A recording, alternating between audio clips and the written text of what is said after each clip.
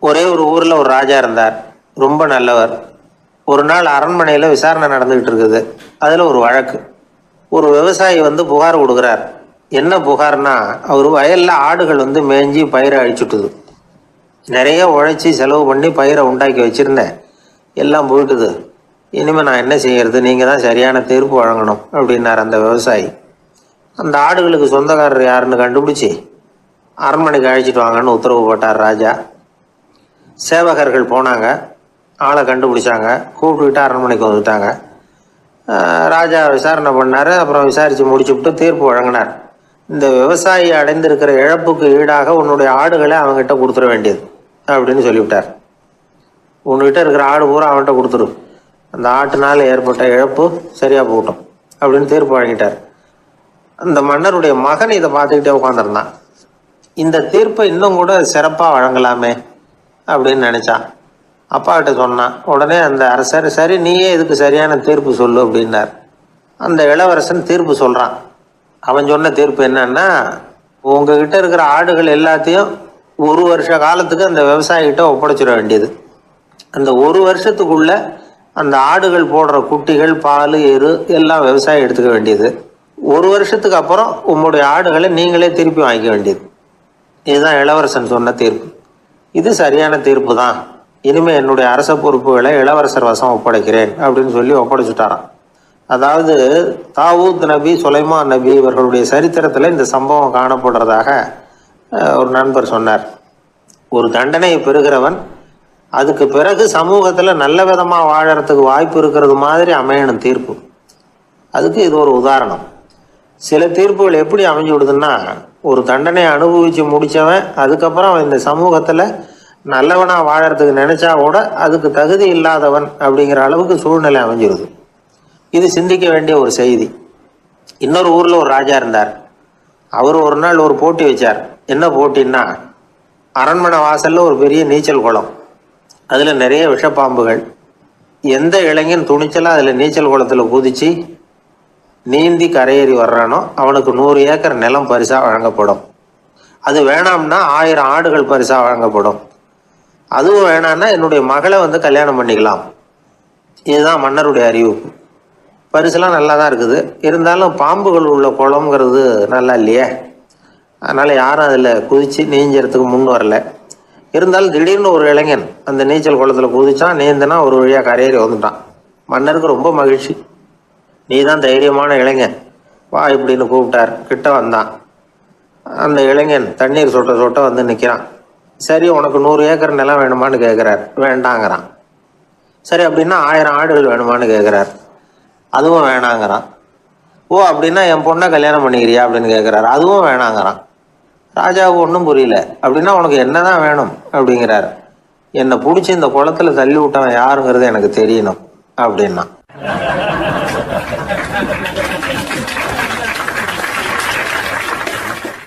வாழ்க்கையில வெற்றி பெற என்ன வழி? இது ஒரு முக்கியமான கேள்வி.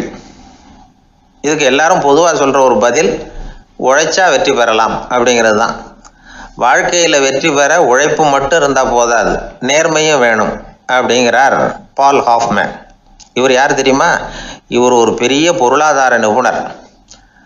இரண்டாவது உலகப் போர் முடிஞ்ச சமயம் அப்போ இவர் அமெரிக்காவின் நிதி ஆலோசகராக இருந்தார். தன்னுடைய வாழ்க்கையில் நடந்த பழைய நிகழ்ச்சி ஒன்று அவர் சொன்னார். இளம் வயசில் படித்து முடித்ததும் அவர் வேலை தேடிக்கிட்டு இருந்தாராம். அப்போது ஒரு கால்நடை வைத்தியர்கிட்ட போய் வேலை கேட்டிருக்கார். இவர் அங்கே போன சமயத்தில் அந்த டாக்டர் தன்னுடைய பழைய கார் ஒன்றை விற்பனை செய்யறதுக்காக வேற ஒருத்தர்கிட்ட பேரம் பேசிக்கிட்டு இருந்தார். வாங்க வந்தவர் இவர்கிட்ட அந்த காரை பற்றின விவரம்லாம் கேட்டுக்கிட்டு இருந்தார். கார் வந்து நல்ல நிலைமையில் இருக்குமா அப்படிங்கிற கவலை அவருக்கு. எல்லா விவரங்களையும் கேட்டுக்கிட்டு அவர் கடைசியாக சொன்னார். டாக்டர் இந்த காரை நீங்களே என்னுடைய ஊருக்கு வந்து ஓட்டிட்டு வர வேண்டியது. கார் எந்த ரிப்பேரும் ஆகாமல் என்னுடைய ஊருக்கு வந்து சேர்ந்துட்டுதுன்னா அங்கேயே நான் பணம் கொடுத்து இந்த காரை வாங்கிக்கிறேன் அப்படின்னார். நம்ம கார் அவ்வளோ தூரத்துக்கு வழியில் எந்த கோளாறும் இல்லாமல் போய் சேருமா? அப்படிங்கிற சந்தேகம் டாக்டருக்கு. அவர் என்ன செஞ்சார் தெரியுமா? தன்கிட்ட வேலை கேட்டு வந்திருந்த இளைஞர் பால் ஹாஃப்மேனை கூப்பிட்டார். அவர்கிட்ட சொன்னார் இதை பாருப்பா இந்த காரை நீ அவருடைய ஊர் வரைக்கும் நல்லபடியாக ஓட்டிகிட்டு போய் சேர்த்துட்டீன்னா உனக்கு நான் வேலை கொடுத்து விட்றேன். அது மட்டும் இல்லை காரு விற்கிற தொகையில் கமிஷனும் கொடுக்குறேன். என்ன சம்மதமா? அப்படின்னு கேட்டார். ஹாஃப்மேன் யோசனை பண்ணார். அதுக்கப்புறம் சரின்னு சொல்லி சம்மதிச்சார். கொஞ்ச நேரத்தில் அவரும் கார் வாங்க வந்தவரும் புறப்பட்டாங்க. இவர் ரொம்ப சிரமப்பட்டு வழியில் எங்கேயும் நிறுத்தாமல் காரை ரொம்ப சாமர்த்தியமாக ஓட்டிகிட்டு போய் சேர்த்துட்டார். அவர் இவரை அழைச்சிக்கிட்டு வீட்டுக்குள்ளே போனார். அப்புறம் கேட்டார் இதை பார்ப்பா இப்போ சொல்லு. இந்த காரோட நிலைமை இப்போ எப்படி இருக்குது உண்மையிலேயே இது நல்ல நிலைமையில் இருக்குதா? உன்னுடைய மனசாட்சிப்படி பதில் சொல் அப்படின்னார். இவரும் உடனே காரு நல்ல நிலைமையில தான் இருக்குது அப்படின்னு சொல்கிறதுக்கு வாயை திறந்தார். அதுக்குள்ள பார்வை எதிரில் உள்ள சுவர் மேலே பட்டுது. அங்கே இயேசுநாதர் படம் ஒன்று மாட்டியிருந்தாங்க. அதுக்கு அடியில் எழுதியிருந்த வாசகம் என்னன்னா நீ பேசும் ஒவ்வொரு வார்த்தையையும் இயேசு கவனித்து கொண்டிருக்கிறார் அப்படின்னு இருந்தது. அந்த வரிகளை பார்த்தார். உடனே காரு சரியில்லை அப்படிங்கிற உண்மையை சொல்லிவிட்டார். இவர் இப்படி சொன்னதும் அவர் இவரை ரொம்ப ஆச்சரியமா பார்த்தார். இவர்கிட்ட இருந்த நேர்மை அவரை சிந்திக்க வச்சது. உன்னுடைய நேர்மையை பாராட்டுறேன். உனக்கு கமிஷன் கிடைக்கணுங்கிறதுக்காகவே நான் இந்த காரை வாங்கிக்கிறேன்னார். இப்போ அவர் திகைச்சு போய் நின்னார். மறுபடியும் அவர் சொன்னார் நீ காரை ஓட்டிட்டு வரும்பொழுதே உன்னுடைய திறமையை பார்த்தேன். உனக்கு விருப்பம் இருந்தால் நீ என்கிட்டயே வேலைக்கு சேர்ந்துடலாம் அப்படின்னார். பால் ஹாஃப்மேன் அவர்கிட்ட வேலைக்கு சேர்ந்தார் படிப்படியாக முன்னேறினார். கடைசியில் பார்த்தீங்கன்னா அமெரிக்காவுனுடைய நிதி ஆலோசகராக ஆனார் அதுக்கப்புறம் அவர் அந்த பழைய சம்பவத்தை எப்பவும் மறக்கிறதில்ல அடிக்கடி சொல்கிறது உண்டு. அதனால் இதிலேருந்து நாம் தெரிஞ்ச வேண்டியது என்னென்னா வாழ்க்கையில் முன்னுக்கு வரணும்னா உழைப்பு மட்டும் போதாது. நேர்மையும் வேணும் ஆனால் இந்த காலத்தில் சிலருடைய நேர்மை நமக்கு ஆச்சரியமாக கூட இருக்கும். ஒருத்தர் புஸ்தக கடை வச்சுருந்தார். ரொம்ப நேரமாக தேடி ஒரு புத்தகத்தை கையில் எடுத்தார். அதுக்கு பில் போட சொன்னார். அந்த புத்தக கடைக்கு வந்த இன்னொருத்தர். பில் போடுறவர் சார் இந்த புத்தகம் மகா அறுவை மகா மட்டம். இது வேணாம் உங்களுக்கு. வேற ஏதாவது ஒன்று பாருங்கன்னார் புத்தக கடை வச்சிருக்கிறவரே இப்படி சொன்னார். வாங்க வந்தவர் இவர் ஆச்சரியமாக பார்த்தார். உங்கள் நேர்மையை பாராட்டுறேன். அது சரி இந்த புத்தகத்தை ஏற்கனவே நீங்கள் படித்து பார்த்துட்டீங்களான்னு கேட்டார். அதை படித்து வேற பார்க்கணுமான்னார். அப்புறம் எப்படி இது மகா மட்டம்னு சொல்கிறீங்க அப்படின்னார். அதை எழுதினவனே நான் தான் சார் அப்படின்னார் அவர். இது ஒரு விதமான நேர்மை. நேர்மையை ஒத்துக்கிறது. எப்படி இருந்தாலும் வாழ்க்கையில் உழைப்பும் நேர்மையும் உயர்வதற்கு வழிகள். உழைப்பை விட நேர்மை முக்கியம். அப்படிங்கிறத புரிந்து கொண்டால் வாழ்க்கையில் வெற்றி நிச்சயம். ஒரு பூங்கா. அங்கே ஒருத்தர் நின்றுட்டு இருக்கிறார். நின்றுக்கிட்டே ஏதோ ஆழ்ந்த யோசனையில் இருக்கிறார். அந்த பக்கமாக இன்னொருத்தர் வந்தார். இவரை கவனிச்சார். என்ன யோசனைன்னு கேட்டார். எப்படி எழுந்திருக்கிறதுன்னு யோசனை பண்ணிட்டு இருக்கிறேன்னார் அவர். கேட்டவருக்கு ஒரு மாதிரி ஆயிட்டுது. ஏற்கனவே நின்றுக்கிட்டு இருக்கிற ஒருத்தர் எப்படி எழுந்திரிச்சு நிற்கிறதுன்னு யோசிக்கிறாருன்னா அது ஆச்சரியம் தானே அதுக்கப்புறம் இவர் யோசிக்க ஆரம்பிச்சார். என்ன இவர் இப்படி பேசுகிறாரு அப்படின்னு. கீழே விழுந்தா தானே எழுந்திரிச்சு நிற்க முடியும். அதனால் எழுந்திருக்கணும்னு நினைக்கிறவங்க முதல்ல கீழே விழணும். இவர் முதல்ல கீழே விழணும் அதுக்கப்புறம் தான் எழுந்திருக்கிறது எப்படின்னு சிந்திக்க முடியும். இந்த உலகத்தில் எல்லாருமே வந்து கீழே விழுந்து எழுந்தவர்கள் தான். இப்போ இந்த குழந்தை பருவத்தில் கீழே விழாமல் நடைபயில கற்றுக்கிட்டவங்க யாராவது உண்டா? சின்ன வயசில் ஒரு ஒரு தடவை கூட கீழே விழலை சார். அப்படியே பிறந்தார் வளர்ந்தார் பெரியவர் ஆயிட்டார் அப்படின்னு யாரையும் சொல்ல முடியாது. அதனால் மனுஷங்கிறவன் விழுந்து புரண்டு எழுந்து தான் நடக்க கற்றுக்கிறான் ஒரு உண்மையை நாம் வந்து எல்லாரும் புரிஞ்சுக்கணும். இந்த உலகத்தில் தவறு செய்யாத மனிதர்களே யாரும் கிடையாது.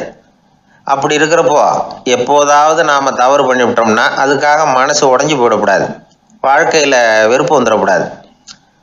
ஒரு தவறு நடந்துவிட்டுதா அதுக்காக மனசு உடஞ்சி போடாதீங்க அதை ஒரு பாடமாக எடுத்துக்கங்க.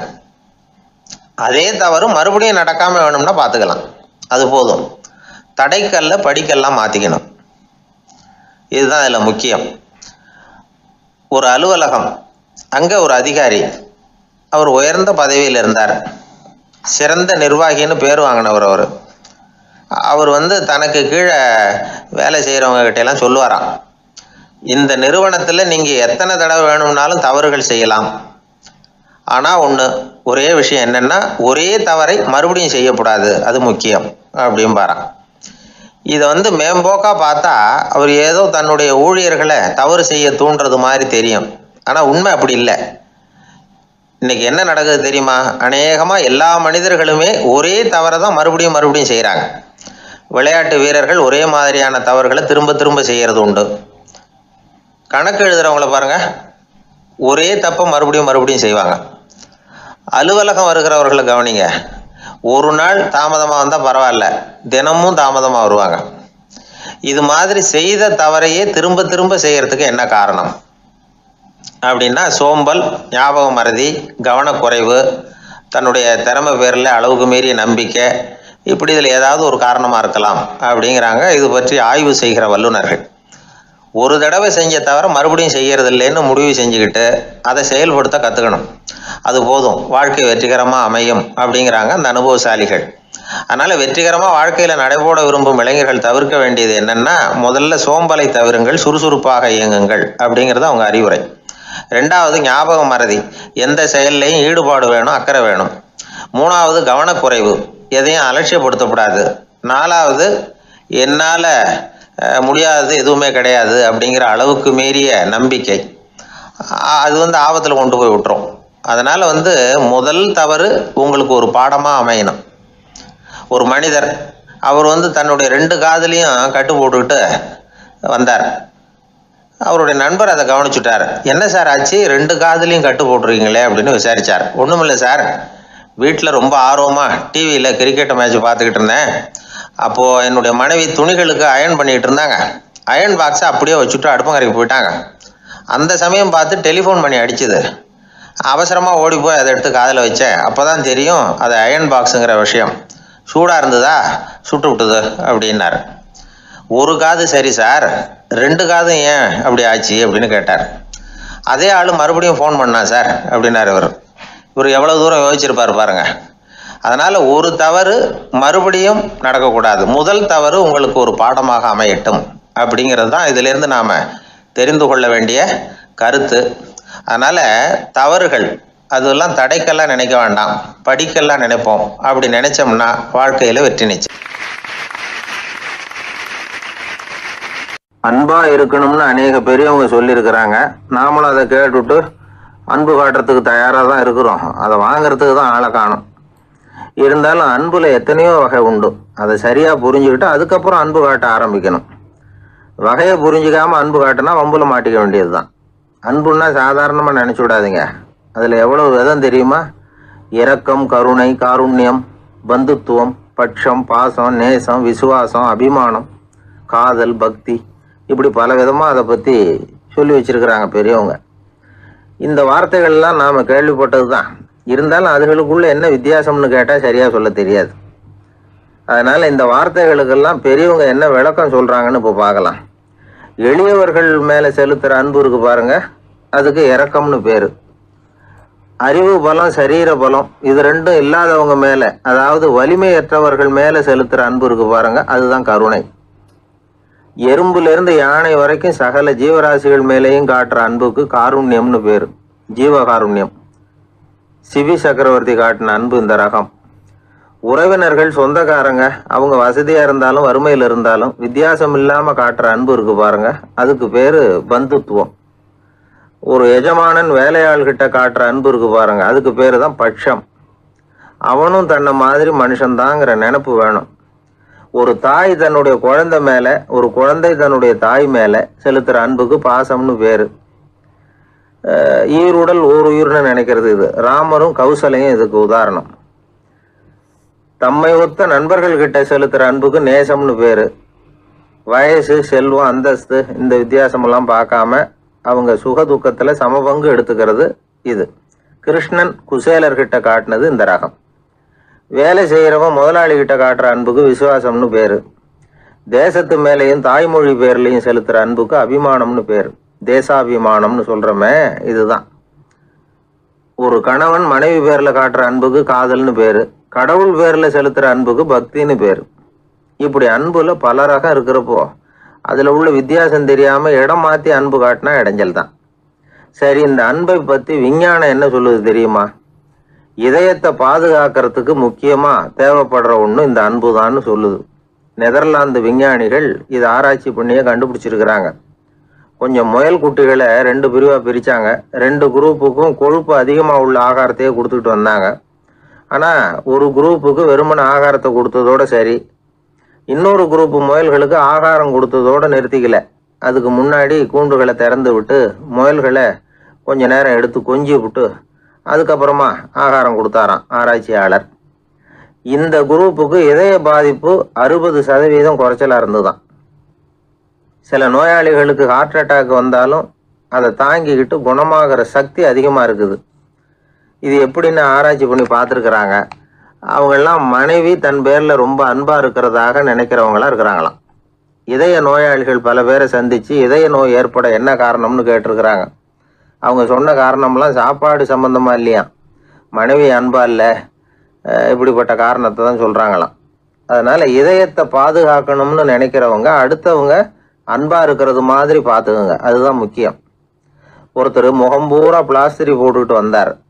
ரொம்ப கோபமாக என்னங்க ஆச்சுன்னு விசாரித்தேன் எல்லாம் உங்களால் தான் சார்னார் விவரமாக சொல்லுங்களேன் என்ன உங்கள் தகவலை கேட்டுட்டு ஒரு பூனைக்குட்டியை கையில் எடுத்தேன். அன்பா அதை தடவி கொடுக்கறதுக்காக. ஆனால் அது முந்திக்கிட்டது. அது என் முகத்தை தடவி கொடுத்துட்டுது. முகம் பூரா நகை கீறல் அதுதான் இப்படி அப்படின்னார். அன்புல அறிவு சேராததுனால வந்த கோளாறு இது.